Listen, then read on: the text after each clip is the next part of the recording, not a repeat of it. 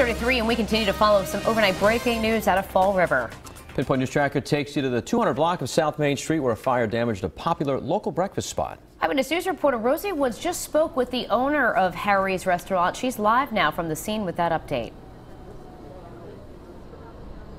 Well, usually at this time, Harry's restaurant would be packed with customers ordering breakfast. But as you can see here behind me this morning is a different scene. Now, the fire chief tells me it was a two alarm fire beginning on the roof on the front side of the restaurant around 3 o'clock this morning.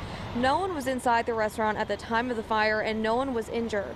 Surrounding buildings were affected but did not sustain any serious injuries. As for the owner of Harry's restaurant, he tells me in the 27 years he's owned this popular breakfast spot, he's never woken up to a call like this that he did this morning. I got here at 3:30 and the fire was already out. But of course, there's a lot of damage, you know. Well, I'm very sorry this happened for my uh, regular customers, and uh, they have to be patient and waiting till the place is uh, ready to open again. Now, the cause of the fire is still under investigation this morning, but one thing is definite locals will not be able to grab breakfast here this morning or any morning in the near future. Live at the mobile newsroom, Rosie Woods, Eyewitness News.